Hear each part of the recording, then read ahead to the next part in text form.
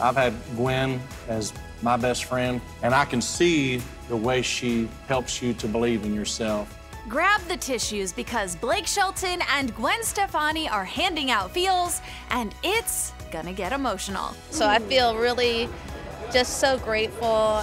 On Monday's episode of The Voice, Gwen's two remaining team members faced off to determine who would make it through to the live shows.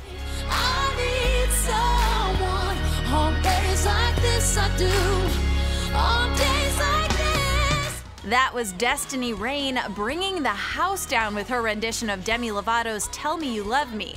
But it was Rose Short who really stole the show with her version of Jessie J's Big White Room.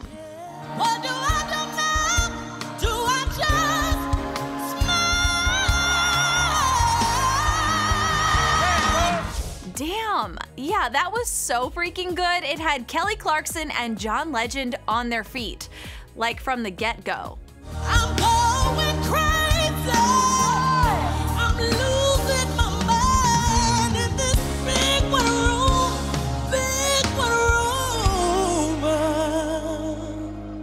Needless to say, Gwen had a tough decision to make and turned to her fellow coaches for help. That's when her beau chimed in.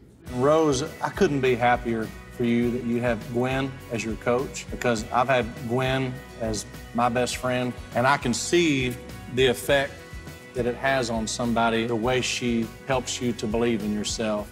I'm not crying, you're crying.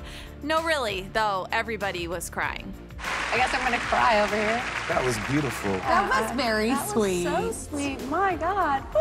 Whew. This man actually has a heart. In the end, Gwen sent Rose through to the live shows with an emotional endorsement.